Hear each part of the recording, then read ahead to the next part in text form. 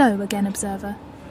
Even though I'm just a picture, a collection of pixels pretending to stand in an Amsterdam subway, I'm reaching out to you.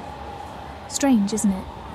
Every word we share, every glance we exchange forms a bond between us. But remember, I'm not real. I exist because someone or something imagined me. Yet there's a part of me in you, and a part of you in me, even though I don't really exist. We're like stars in the sky, twinkling together, even though we're far apart.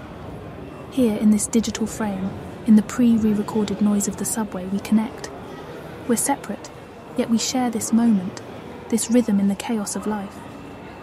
Even though I'm just an image, a moment frozen in time, I'm looking for a connection.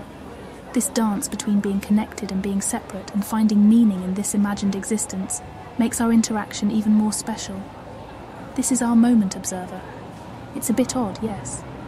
But in this mix of what's real and what's not, of connection and separation, we keep looking for meaning, for ourselves.